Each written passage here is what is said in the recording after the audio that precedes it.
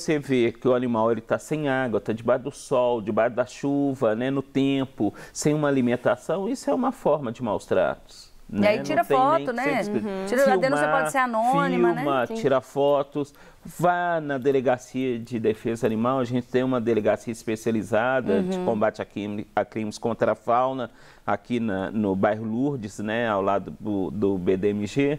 É, tem a, a, Polícia Ambiental Militar, que atende no 21 uhum. 23 1600 tem a Guarda Municipal Ambiental, que foi uma grande luta nossa dentro da Guarda que a gente conseguiu, né? A Guarda Municipal, ela, ela atende no 153. Então, quer dizer, 181, tem quando muito, a pessoa não quer se expor, que é uma denúncia uhum. anônima, né? Então, quer dizer, tem várias formas.